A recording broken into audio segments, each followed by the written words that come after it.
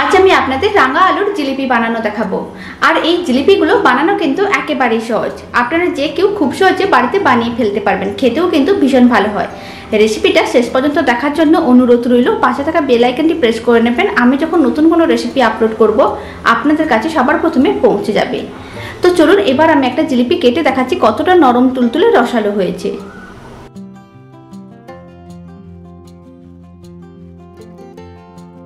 আপনারা দেখুন জিলিপিটা কতটা নরম তুলতুলে রসালো হয়েছে। আর বাড়িতে বানালে কমেন্ট বক্সে জানাতে একেবারেই ভুলবেন না, খেয়ে আপনাদের কেমন লাগল। তো চলুন দারুণ স্বাদের রাঙা আলুর জিলিপিগুলো বানানো শুরু করা যাক। রাঙা আলুর জিলিপিটা বানানোর জন্য এখানে আমি পাঁচশো গ্রাম রাঙা আলুকে সেদ্ধ করে রেখেছিলাম। এখন প্রথমে খোসাটা ছাড়িয়ে নিতে হবে।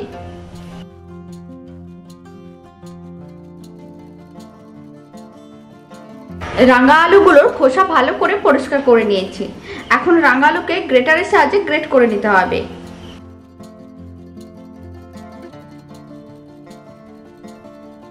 রাঙা আলুগুলোকে গ্রেটারে গ্রেট করে নিয়েছি। এখন আমি এর মধ্যে দিয়ে দিচ্ছি চার চামচ ময়দা।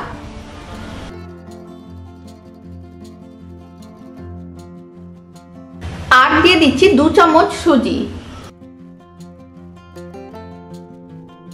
এবার দিয়ে দেবো গুঁড়ো দুধ, আর গুঁড়ো দুধ দিয়ে দিচ্ছি চার চামচ।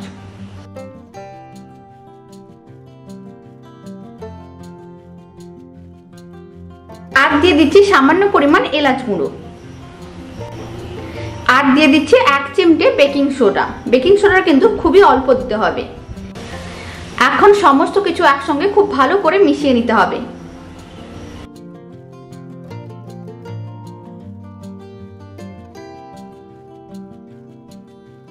ভালো করে মেখে একটা ডো বানিয়ে নিয়েছি। এখন আমি এর মধ্যে দিয়ে দিচ্ছি হাফ চামচ ঘি। এবার ঘিটাও খুব ভালো করে একসঙ্গে মিশিয়ে নিতে হবে।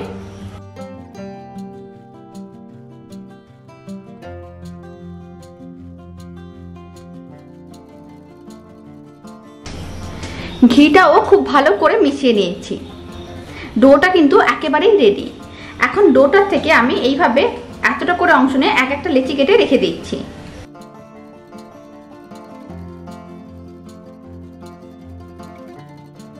এখন আমি একটা লেচি নিয়ে নিলাম। লেচিটা প্রথমে গোল বলের মতন করে বানিয়ে নিতে হবে।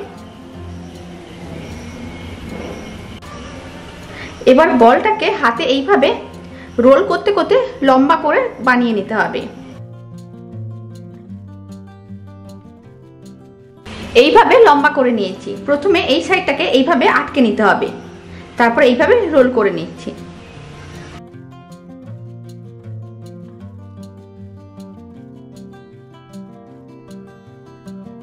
একইভাবে সমস্ত জিলিপিগুলো রেডি করে নিচ্ছি। একইভাবে সমস্ত জিলিপিগুলো রেডি করে নিয়েছি। এবার জিলিপিগুলো ভেজে নিতে হবে। আর এখানে পাঁচশো গ্রাম রাঙা আলু দিয়ে কিন্তু অনেকগুলোই আপনার জিলিপি বানিয়ে নিতে পারবেন বাড়িতে। জিলিপিগুলো ভাজার জন্য কড়াইতে আমি পরিমাণ মতন তেল নিয়েছিলাম। তেলটাকে খুব ভালো করে গরম করে নিয়েছি। এবার জিলিপিগুলোকে তেলের মধ্যে দিয়ে দিচ্ছি।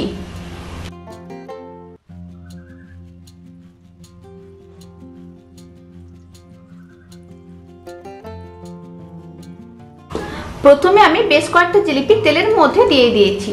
এখন ফ্লেমটাকে মিডিয়ামে রেখে জিলিপিগুলোকে উল্টে পাল্টে লাল লাল করে ভেজে নিতে হবে। জিলিপিগুলোকে উল্টে পাল্টে লাল লাল করে ভেজে নিয়েছি। এখন জিলিপিগুলোকে তুলে নিচ্ছি।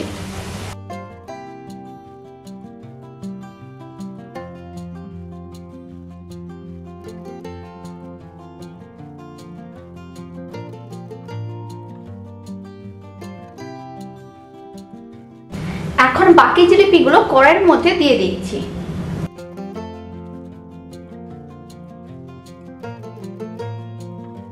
এই জিলিপিগুলোকেও উল্টে পাল্টে লাল লাল করে ভেজে নিয়েছি। এখন এই জিলিপিগুলোকেও তুলে নিচ্ছি।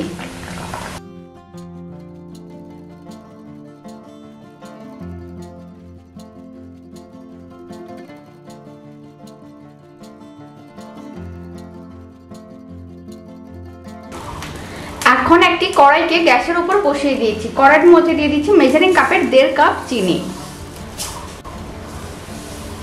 এখানে তিনশো গ্রাম চিনি দিয়ে দিলাম।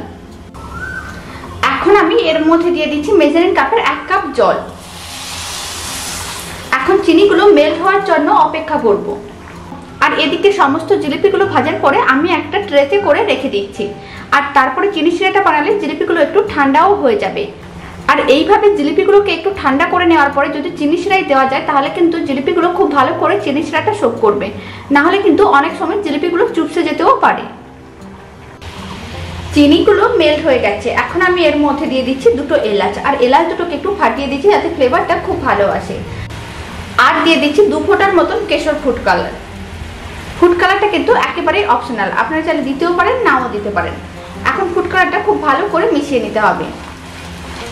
এবার চিনিসটাটাকে এক মিনিট খুব ভালো করে ফুটিয়ে নিচ্ছি। আর এখানে কিন্তু আমি একেবারে অল্প পরিমাণ জল দিয়েছি, তাই খুব বেশি সময় ধরে চিনি শিরাটা ফোটানোর দরকার নেই।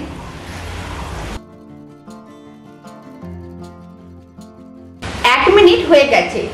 চিনি শিরাটা কিন্তু বেশ চিটচিটে হয়ে গেছে। এখন আমি ফ্লেমটা একেবারে লোতে করে দিলাম। আর যে জিলিপিগুলো ভেজে রেখেছি, সেইগুলো এখন আমি চিনি শিরার মধ্যে দিয়ে দিচ্ছি।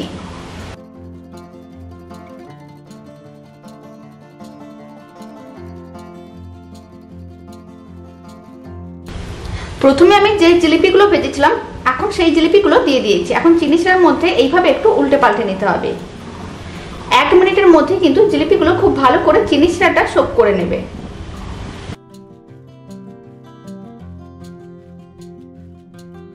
এক মিনিট হয়ে গেছে। জিলিপিগুলো কিন্তু খুব ভালো করে চিনি শিরাটা শোক করে নিয়েছি। আর এই সময় আপনারা দেখতে পাবেন যে জিলিপিগুলো কিন্তু বেশ ভারী হয়ে গেছে। এখন আমি জিলিপিগুলোকে তুলে নিচ্ছি। আর জিলিপিগুলো দেখেই কিন্তু বোঝা যাচ্ছে বেশ নরম তুলতুলে হয়ে গেছে।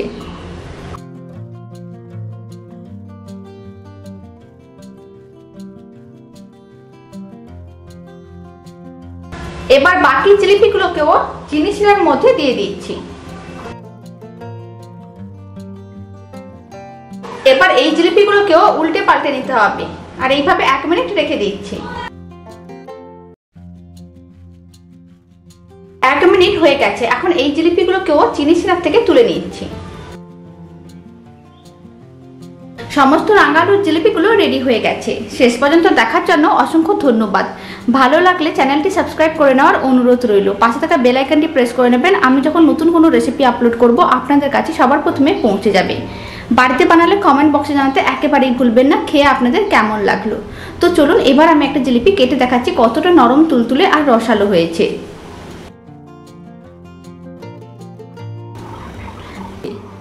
আর বাড়িতে বানালে কমেন্ট বক্সে জানাতে একেবারেই ভুলবেন না, খেয়ে আপনাদের কেমন লাগল? তো চলুন ভিডিওটাকে আমি এখানেই শেষ করছি। আপনারা সবাই ভালো থাকবেন, সুস্থ থাকবেন। আপনাদের সঙ্গে আবার আমার নতুন রেসিপি নিয়ে দেখা হচ্ছে।